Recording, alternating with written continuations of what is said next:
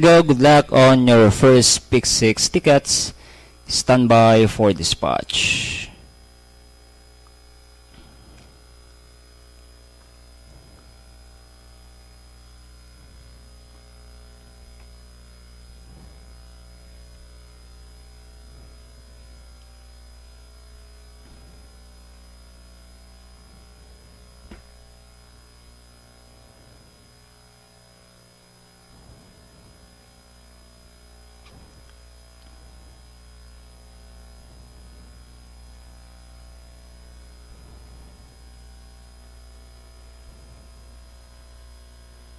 Gates open there off and raising the favorite Heritage fast to begin. Moving up down in series Jersey Savings. And in third comes entry number 4, El Leader Maximo.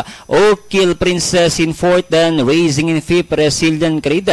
Moving up down inside 6 comes Masada. Raising third last is Izida Sita. Olympic Gold and runner number 4 or El Leader Maximo is racing in ninth.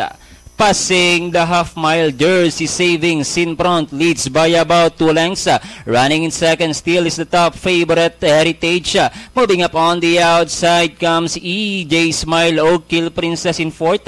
Then racing in fifth, Donori Inzer is Resilient Creed. And as they reach the last 500, no change with the leader. This one, Jersey Savings by about half a length. Moving up in the middle portion comes Heritage.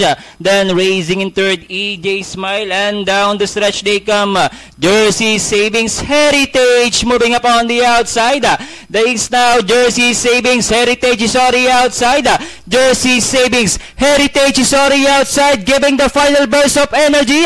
Jersey Savings Heritage, Jersey Savings, and finally Jersey Savings Heritage Masada. Then comes EJ Smile for your quartet. Resilient Creed. Then comes El Leader Maximo Oak Hill Princess Olympic.